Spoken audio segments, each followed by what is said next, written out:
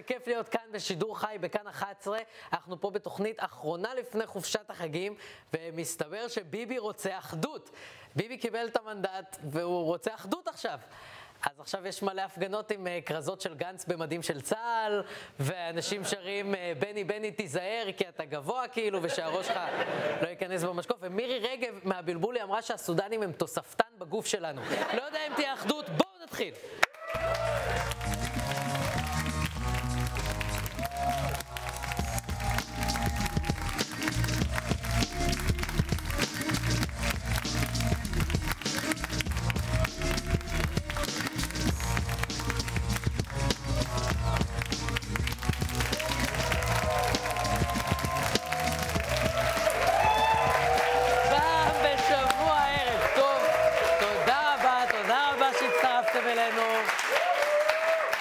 שבוע שבו מצד אחד העתיד הפוליטי של המדינה ממשיך להישאר לא ברור, והיציבות ממשיכה להידרדר לעבר משבר דמוקרטי חסר תקדים, בלי שום פתרון ברור באופק.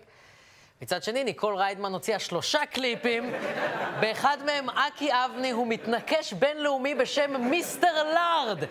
אז לא הכל נורא, ואנחנו נעסוק עוד בעניין הזה בהרחבה, במיסטר לארד וכל שושלת לארד לדורותיה, אבל קודם לכן, הפלונטר הפוליטי ממשיך להעמיק. בתחילת השבוע כחול לבן והליכוד התחילו במגעי האחדות שכרגע ברור שתקועים בשל הדרישות של שני הצדדים להיות ראשונים ברוטציה. אתמול הנשיא ריבלין הטיל רשמית את משימת הרכבת הממשלה על ראש הממשלה בנימין נתניהו, שקיבל אותה בהתלהבות של מישהו שמקבל קלמידיה. תודה לך, אדוני הנשיא. אני מקבל את המשימה שהטלת עליי. אני עושה זאת אה, מתוך ידיעה שלא שיש לי סיכויים גבוהים יותר להקים ממשלה, אלא ש...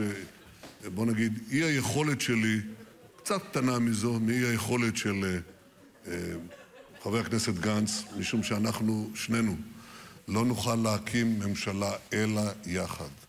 צו השעה זו ממשלת אחדות. ממשלת אחדות לאומית רחבה, ואני הייתי אומר מהירה. עכשיו אני רוצה להתעכב למה אנחנו צריכים את האחדות הזאת, את הפיוס הלאומי הזה, מכמה טעמים. שלושה טעמים שהם אלף, אלפיים וארבעת אלפים. ולממשלת האחדות הזאת אני מזמין את בני גנץ החולה נפש ואת האיראנים שפרצו לו לטלפון. עכשיו, הסיכוי שבני גנץ יישב עם ביבי ויפר את הבטחת הבחירות שלו הוא אפסי, כי בני גנץ יודע שברגע שהוא עושה את זה, הדרך היחידה שלו לקבל שוב כפיים בהופעה של שלמה ארצי זה אם הוא יציע שם נישואין. ולכן, לכן צריך לשאול מה הולך לקרות. נתניהו מקבל את המנדט הערב מהנשיא. בתוך שבוע מהיום הוא יחזיר אותו לריבלין. עם החזרת המנדט מצד נתניהו, שתי אפשרויות עומדות בפני הנשיא. אפשרות אחת, לדלג על בני גנץ ולקחת אותנו הישר לתקופת שלושת השבועות, בהם 61 חברי כנסת יכולים להתאגד סביב אחד מבין 120 ולהמליץ עליו בפני הנשיא.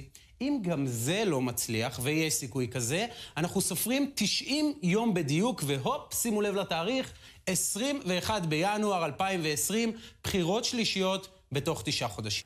או, לא, אה, אני לא יכול ב-21 בינואר בחירות, כי אני בדיוק תוקע לעצמי נר דולק באישון של העין, מדמם על השטיח וצועק, למה אלוהים, למה אני לא יכול עוד בחירות? בבקשה, קח אותי עכשיו.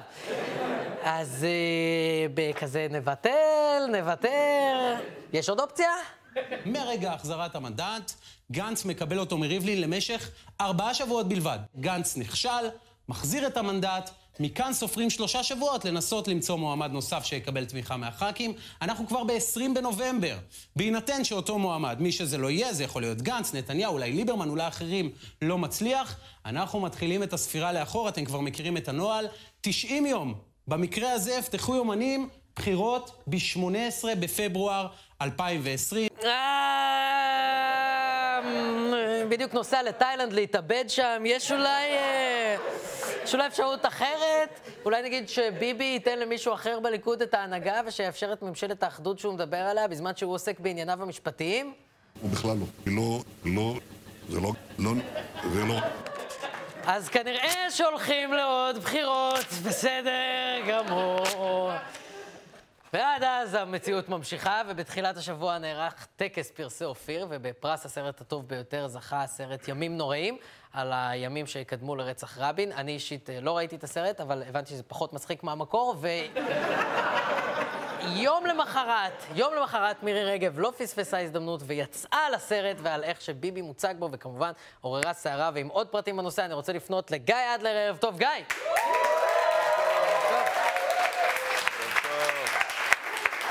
מה שלומך? אז אני מבין שמירי רגב, אשכרה שוב, פתחה על הסרט, ותוך כדי גם אמרה שהיא לא צפתה בסרט. כן, תום, אה, זה פוסט מאוד קיצוני של אה, מירי רגב על הסרט, זה על גבול ההסתה מצידה, אני, באמת, זה... כן, אני עצמי אה, הזדעזעתי, כן. אני, אני, אני, ואני ראיתי פוסטים בחיים, וזה היה פשוט, אה, זה היה פשוט פוסט ש, שחותר תחת ערכי הדמוקרטיה הישראלית, ואני אומר לך את זה, תום, בלי לקרוא מילה מהפוסט לא, הזה. כמובן, גם אני לא, אין... אין. כי לא, אתה יודע, זה, לא חייבים לראות את מה שאתה מבקר, בוא. נשמע בסיסי, לצפות ואז להביע דעה. אה, תגיד לי, אתה חושב שאני אשב כל הזמן עם פופקורן ואצפה בסרטים ובהצגות? זה התפקיד שלי? יש גורמים מקצועיים. כשרת תרבות, כן? לא, מסכנה, רק לא פופקורן וסרטים והצגות. עוד שנייה תגיד לי שהיא צריכה גם לבדוק את כל המתקנים בלונה פארק. אבל כמובן זה באמת אבסורד, ה- היחס הזה שלה לתפקיד של עצמה. אנחנו... זה, זה, תשמע, באמת, זה לא ייאמן. לא. אה, למי יש תעוזה לירוק ככה בפרצוף של יוצרים? למי... מי עוד חוץ ממירי רגב יכולה ככה להטריף את המערכת? לא, מי... כן, זה לא, זה ברור, הנקודה ברורה, זה באמת פשוט... אה, אני, אני, איפה עוד נמצא בן אדם כמוה שיכול להעמיד על הרגליים ציבור שלם על סרט שאף אחד גם ככה לא יראה טוב? אה, לא, אה, כן, גיא, גיא. יש צופים לקולנוע הישראלי, עכשיו היה יום הקולנוע הישראלי, חלק מורידים מגוזלן, אבל בוא נתמקד בפרובוקציה של מירי, בוא נדבר על זה. איפה עוד תום נמצא פוליטיקאי שיכול להתראיין עשר דקות על זה שהוא לא רואה הצגות? פוליטיקאית שיכולה להחזיק כפולה בעיתון על זה שהיא לא קראה ספר? כן, הבנתי, הוא עצוב על, על לכתה של מירי רגב. כן, כן, תום. אוקיי. כן, אפילו לנו במערכת היו רגעים שאמרנו, fuck, חסר לנו אייטם לתוכנית. בוא נראה אם מירי אמרה משהו מטומטם, והיא סיפקה את הסחורה, או מקללת מיעוטים, או רבה עם שמאלן, או אוכלת ג'וק במשימת גועל. אה, לא, אל תגזים משימת גועל. היא לא הייתה באופירה וברקו לפחות שבועיים, גיא. לא צריך. לזה. תם, תם, בסדר, אתה תמשיך להתעלם, אבל אנחנו נצטרך להתחיל להתמודד עם זה שיש מצב שזו הפרובוקציה האחרונה של מירי. לא, לא, לא, מה פתאום, אל ת... זה, לא, לא, לא, גיא, גיא. אני יודע, תום, אני. יודע, אני יודע שזה כואב, אבל תחשוב על זה, נגמר הכיף. מתישהו, מתישהו, מתישהו תהיה ממשלה חדשה, לא משנה מי ירכיב. או, או שביבי ירכיב ומירי תקודם לאיזה תפקיד מבאס והיא תצטרך להתיישר ולהיות רצינית, או שהיא תרד לתפקיד פחות חשוב, ואז פחות נשים לב אליה, ונהיה כזה, היי, תראה, זו האיש שפעם צעקה על דברים, וזה יהיה כזה, כן, זו שרה נתניהו, אשת ראש הממשלה לשעבר. ואז יהיה כזה, כן, היא עומדת ליד מירי רגב. אז, אז, אז אתה מבין, טוב, יש מצב שלא יהיה יותר מירי רגב. לא, לא, לא, לא, אני לא מקבל את זה. לא, הכחשה, כעס, מיקוח, דיכאון. קבלה. אני שמח שאתה מבין. כי איך אפשר להמשיך לעסוק באקטואליה טוב, איך לוח השידורים מתמודד בלי מירי רגב פולטת שטויות, אבל חשוב לדעת גם להיפרד ממירי בצורה יפה.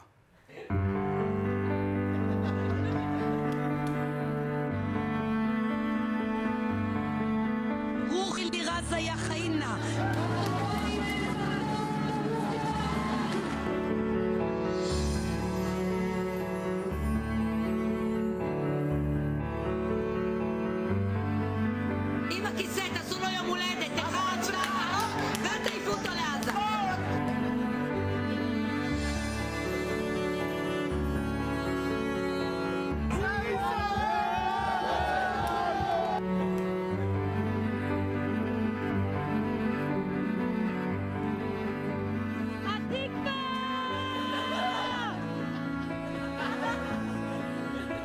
שני שרים אחריי לא יצליחו לתקן את מה שעשיתי.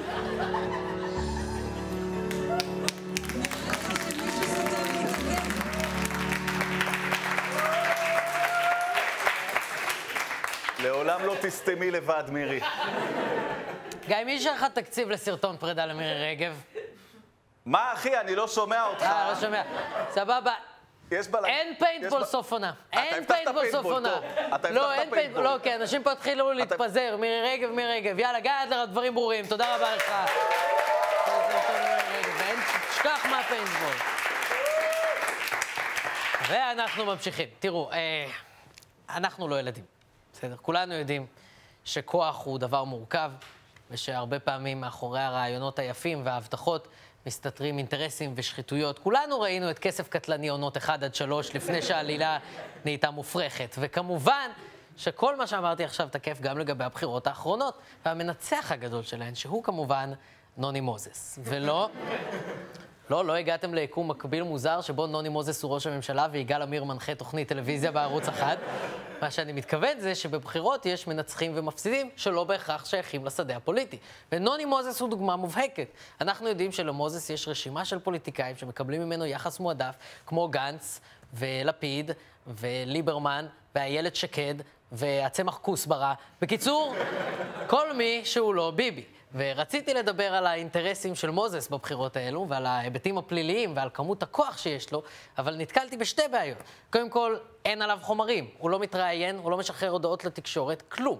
הבן אדם עם כל כך הרבה כוח, כבר עשרות שנים, לא התראיין פעם אחת. אז אני יכול לדבר עליו, אבל אין לי הרבה מה להראות לכם. והבעיה השנייה שנתקלתי בה, היא שכל השבוע לא הצלחתי לחשוב על שום דבר שהוא לא זה.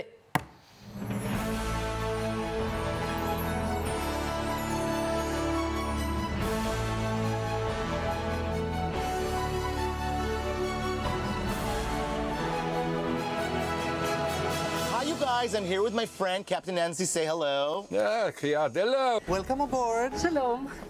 יש טיסה לכלבים? לכלבים כן, ולכלבות לא. יאכט. כנסי.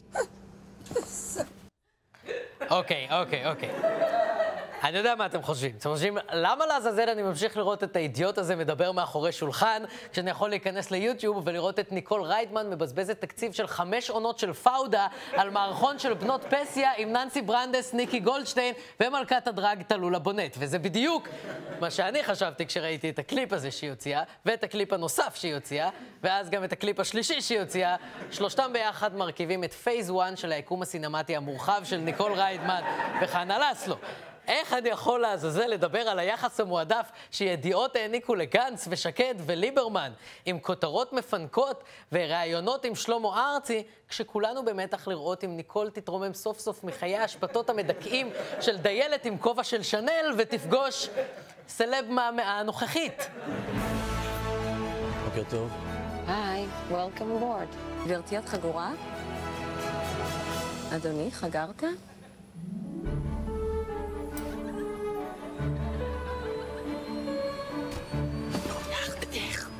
נראית ג'מבו, אבל על מצב טיסה.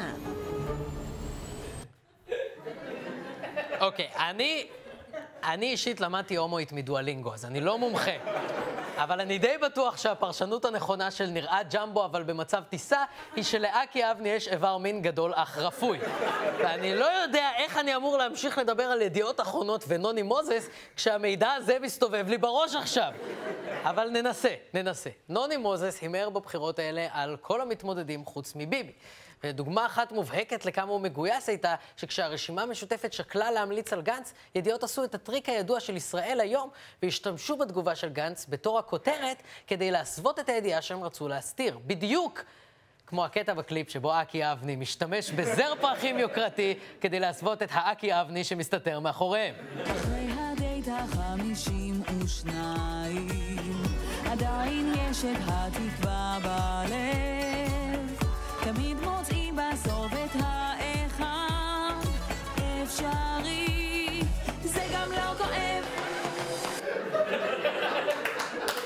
לא, לא, לא, לא, לא, לא, נו- נוני מוזס, נוני מוזס. אנחנו מדברים על נוני מוזס, שמצד אחד קידם את כל היריבים של ביבי בבחירות האלה, ומצד שני מפרסם בעיתון שלו, רק בסופש האחרון, שני טורים על זה שצריך לתת לביבי חנינה. מה שאומר שצריך לדבר על הפיל שבחדר. והוא המעורבות של נוני מוזס בתיק 2000, שבו הוא חשוד שהציע שוחד לראש הממשלה. זה הפיל בחדר. ולא הפיל שמופיע בקליפ של ניקול ריידמן, לשתיים וחצי שוטים שעלו יותר מכל האולפן הזה ביחד.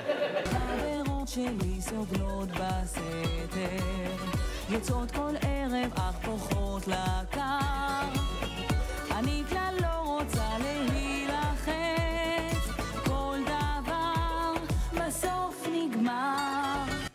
הפיל הזה לא חוזר יותר בקליפ, זהו! זה כל התפקיד שלו. אתם יודעים כמה זה עולה להביא פיל לצילומים? אתם יודעים מה היה קורה אם הייתי מבקש שישיגו לי פיל בשביל איזה בדיחה? היינו מכריזים על העונה הזאת כעונת הפיל. פיל בשבוע עם תום אהרון. זה מה שזה היה קורה. תסריטאי ראשי שלמה עבאס. היו צריכים לבטל את האירוויזיון, לא היה נשאר כסף לכלום. ועדיין זה כנראה פחות ממה שיעלה לנוני מוזס אם תיק 2000 יגיע למשפט. ויכול להיות שזאת הסיבה שנחום ברנע ועמית סגל פרסמו טורים בידיעות שמעלים את האופציה של לתת לביבי חנינה, מבלי להזכיר בשום צורה שגם הבוס שלהם ירוויח משהו מזה. ואם זאת נראית לכם קפיצה גדולה מדי, אתם בבירור לא ראיתם את הקפיצה שאקי אבני עושה בתחילת הקליפ השני, שבו מסתבר שאקי הוא למעשה מתנקש בינלאומי.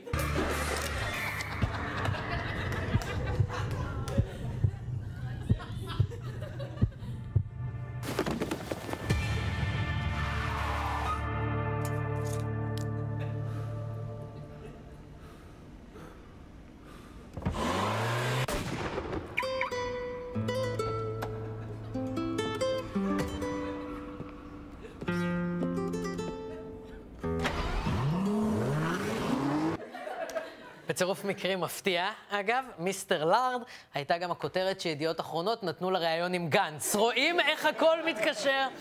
ובדיוק כמו שמיסטר לארד מחסל בקליפ את האיש הזה בתוך האוטו, ככה ידיעות אחרונות מחסלים את האמינות שלהם כשהם נותנים לאדם ששמענו איך הוא מציע לביבי לקבל טיפול מפנק בעיתון שלו בתמורה לחוק שיציל את העיתון כלכלית, ועכשיו אנחנו רואים את אותו נוני מוזס נותן את הטיפול המפנק הזה לפוליטיקאים מכל קצוות הקשת הפוליטית. וזה היה הניסיון המאולץ שלי לדבר על זה בשימוש של קליפים של ניקול ריידמן. תודה.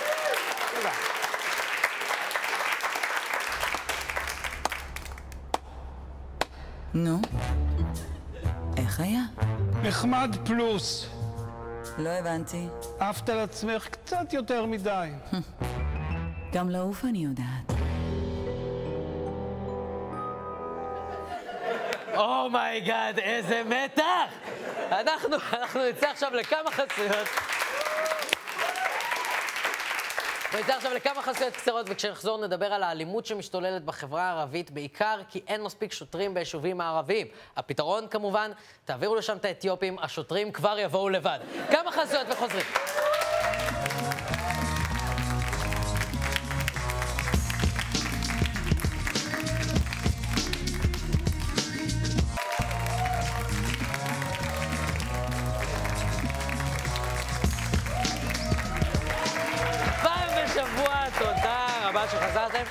זה הזמן להגיד שהמונולוג המרכזי שלנו זמין גם כפודקאסט באפליקציית כאן, ויש לנו גם עמוד פייסבוק, ופתחנו לאחרונה אינסטגרם חדש, ויש שם קטעים בלעדיים והמון בדיחות, כמו למשל...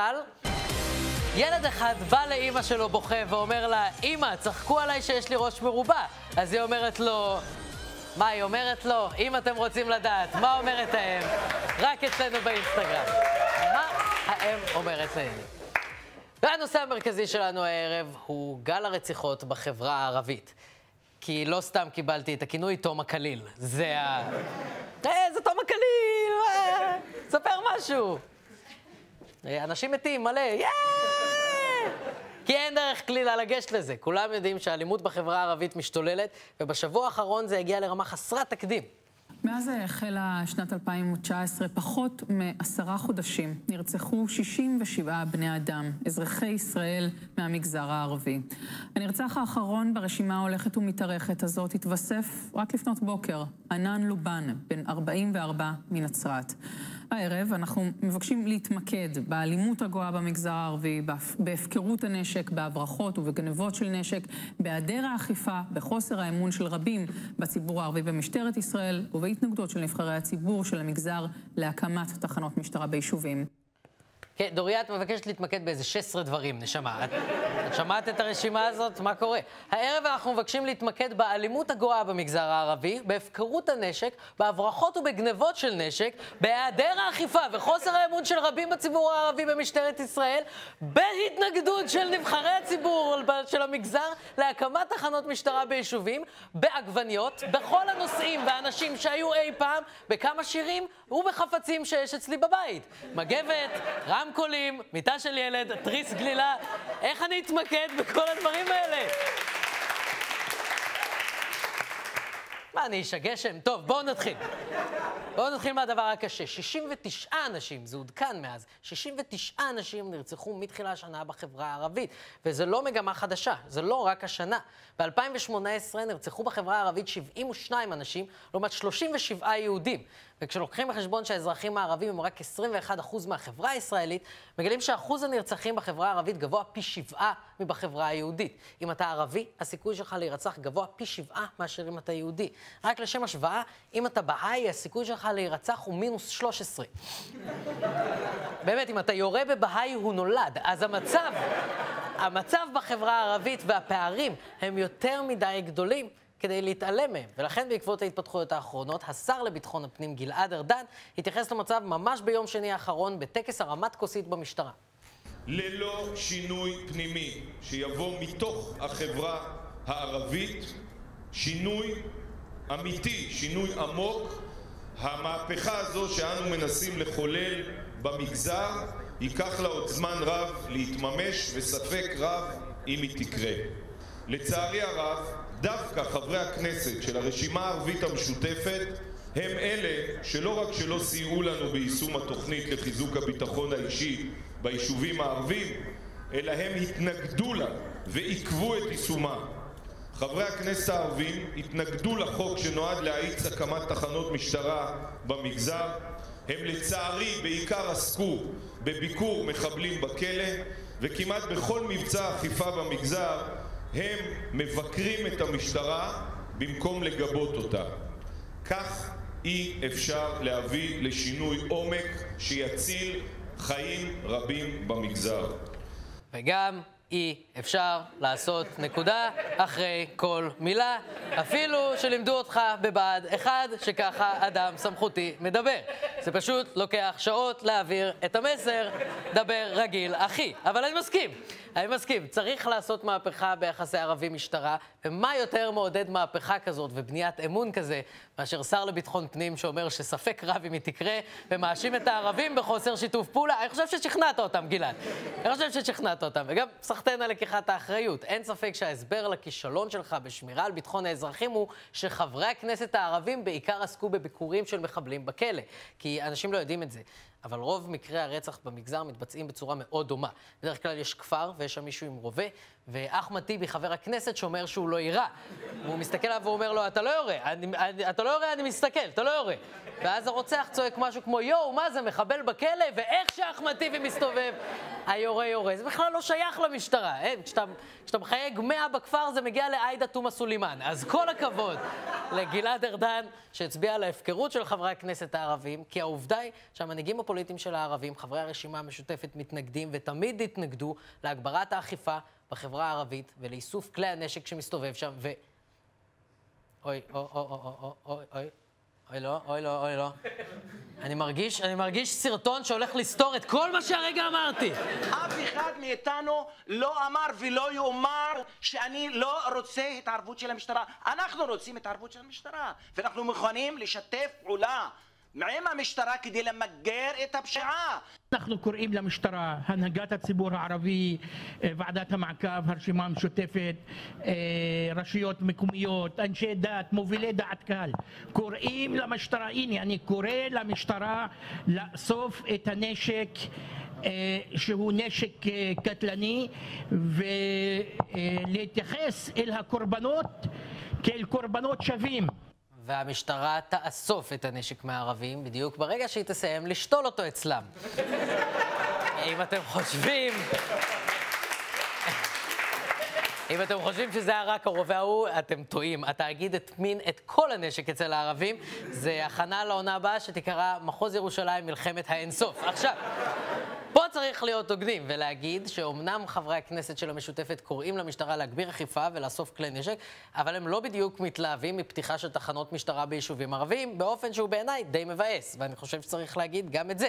אני יודע שזה אולי יפתיע את חבריי השמאלנים, אז אני רוצה לפנות אליכם ולהגיד... אה, ספוטיפיי, ספוטיפיי, וולט, עיצוב גרפי, לכם ולכל משפחתכם. ועכשיו כשאמרתי את זה, כן, חברי הכנסת מהמשותפת התנגדו להצעת חוק שמאפשרת לשר לביטחון פנים להקים תחנות משטרה ביישובים, וחלקם גם התבטאו בנושא בצורה די מבאסת. עכשיו הטרנד, פתיחת תחנות משטרה חדשות בתוך אני רוצה לראות הערים שיש בהן תחנות משטרה, במה זה הועיל? האם הורידו באמת את אחוז האלימות כאשר המשטרה ישבה בתוך היישוב? אחותי, את רוצה להוריד את הפשיעה בלי משטרה? מי בדיוק יאסוף את הנשק? החתולים הסמוראים? ברצינות. גם מה, עכשיו הטרנד זה פתיחת תחנות משטרה? את מדברת על זה כאילו זה לידה במים, אנחנו מדברים פה על אכיפת חוק. וזה לא שאני לא יכול להבין למה שתהיה התנגדות בחברה הערבית לנוכחות משטרתית, כי הרי החשדנות והאלימות של המשטרה כלפי אזרחים ערבים יצרו באופן טבעי חוסר אמון הדדי וקיצוני בין הערבים למשטרה. כי כשאזרח יהודי פוגש שוטר, הוא פוגש את מי שאמון על הביטחון שלו. וכשאזרח ערבי פוגש שוטר, הוא צריך קודם כל לנקות מעצמו את החשד ולהסביר לו, אני לא ערבי, אני תימני, יש לי תוכנית בטלוויזיה, בכאן 11, כן, לא, אני לא מכיר את הצ'ייסר, אני לא יודע אם מגלים לו באוזן, נכון, הוא חכם המניאק הזה, זה סיפור שלם. ככה שבעיניי, ההתנגדות של הערבים לתחנת משטרה כנראה נובעת מהחשדנות ההדדית שבין הערבים למשטרה. זאת אומרת, יש גם את ההסבר של גלעד ארדן, שזה כי הם מחבלים של החמאס, נכון, אבל בכל מקרה, אני לא חושב שזה הוגן להגיד שהנציגים של הציבור הערבי לא מחויבים לפתור את בעיית האלימות בחברה. אני חושב שגלעד ארדן אומר את זה כי זה מאפשר לו לברוח מהאחריות שלו, רק להגביר את החשדנות הזאת, כשהוא אומר לציבור הערבי, חבר'ה, אתם לא משתפים פעולה, או יותר גרוע, חבר'ה, אתם לא משתפים פעולה. ובטח כשהאזרחים בעצמם קוראים למשטרה לפעול.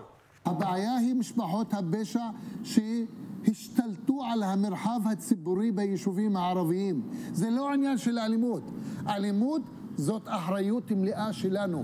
אנחנו לא נתעלם בזה, אבל פשיעה, אנחנו לא נוכל לטפל בפשיעה. יש שורטה בישראל, יש שורטה في هذه البلاد التي تتقاعس عن عملها في مجتمعنا العربي. כולם יודעים איפה הנשק, כולם יודעים מי יש, כולם יודעים מי ירה.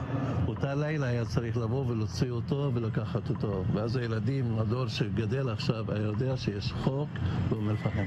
אחרי שני מעשי רצח בתוך יממה אחת בבאקה אל-גרבייה ובטמרה, השתתפו היום מאות מערביי ישראל בהפגנה שבה הם קראו למשטרת ישראל לטפל באלימות הגואה. אוקיי, הנה למה ההפגנה הזאת היא סיפור מטורף ואני צריך שתהיו איתי רגע. לפני שלושה שבועות, אחד השכנים בבניין שלי עשה מסיבה בשתיים בלילה, ואני כל כך פחדתי שהוא יגלה שאני זה שפוצץ לו אותה, שכשהתקשרתי למשטרה אמרתי שקוראים לי מיכל. אני, נש... אני נשבע לכם שזה קרה, יש לי קול של בת בטלפון, זה היה סופר קל. והאנשים האלה מפגינים נגד שכנים שלהם שיש להם רובים? אתם מבינים כמה חמורה הבעיה כנראה? אתם יודעים מה הייתי עושה אם לשכן שלי היה רובה? הייתי תולה פוסטר של רמבו, אוקיי? הייתי פותח מטווח בבית. הדבר האחרון שהייתי עושה זה לפנות למשטרה בפומבי ולבקש מהם לבוא. ואני צריך אותו אחרי זה לפגוש בחדר מדרגות, ולהגיד לו, אה, שנה טובה, איך אתה עם הרובים? לא, והם בכל זאת עשו את זה, כי המצב כל כך חמור שלא הייתה להם ברירה. ובמקום להקשיב לקריאה הזאת, גלעד ארדן שוב בחר להדגים בפעם המיליון עד כמה לא באמת אכפת לו. כי כאילו בן אדם... בוא, כולנו אוהבים לחרטט, אבל אתה מבקש מהערבים את שיתוף הפעולה שלהם, את האמון שלהם, במי? במי שהאשים את ערביי ישראל בטרור הצתות מבלי להביא שום הוכחה לטרור כזה? במי שבאום אל-חיראן לקח לו עשר שניות להחליט שאזרח חף מפשע הוא מחבל של התנועה האסלאמית? במי הם אמורים להאמין? באדם בוגר עם קוצים? מה, אתה רציני? איך תפתור את הפשיעה? עם חוכובה? כי אם אתה באמת רוצה לפתור את בעיית הפשיעה בחברה הערבית, אתה לא יכול להתעלם משנים של חשדנות שקיימת בין המשטרה לבין הערבים. ואתה לא יכול להגדיל את החשדנות הזאת כשאתה מטנף את הנציגים של החברה הערבית בכנסת. ועוד דבר, אם כל ההצגה הזאת וכל המתקפה על חברי הכנסת של המשותפת היא רק כדי לעשות דה-לגיטימציה למפלגה שאולי תלך עם גנץ, אז לפחות תהיה גבר ותגיד שקוראים לך מיכל. זהו, אנחנו סיימנו, תודה רבה, לילה טוב. תודה, תודה, יופי פינה, אחלה, יופי של פינה. זה מה אנחנו זה, אנחנו הבנו. הרוצח של אה, כביש החוף. אה, זה משודר עכשיו? היה מטורף. הוא רצח את כביש החוף? תכף מפגר. מה הוא עשה לכביש החוף? דקר אותו עשר דקירות, את כל הכביש. אבל זה מזמן זה היה. מפחיד, כן, אבל בינתיים עשו פורנזי. נו, ו? הסתדר. הכביש? הכביש עכשיו בסדר. יופי, לא יופי, רפואה לא שלמה. לא נורמלי, לא נורמלי. מדהים, אתה חייב לראות את זה פעם פעם.